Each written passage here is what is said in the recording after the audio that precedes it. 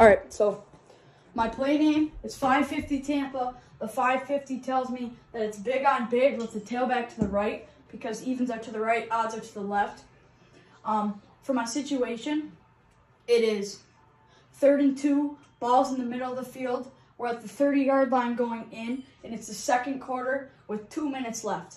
And they have the ball first, so we have the ball to start the second half. All right, so pre-snap, when I get to the line of scrimmage, I see that the middle of the field is closed, which means there's one safety.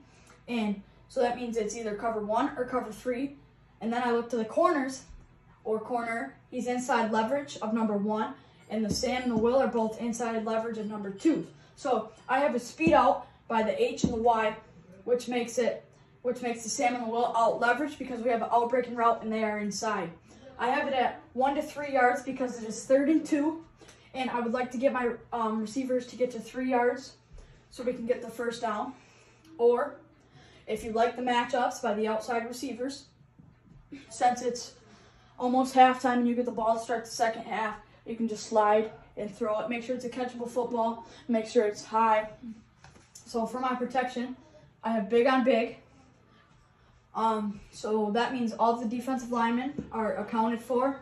And with the tailback, I have a check release, which means that if the Mike comes, since he's my hot, then the tailback will step up and get him. And if the Mike does not come, the tailback will run a swing route. Uh, the Mike is my hot because the Sam and the Will are both accounting for the H and the Y.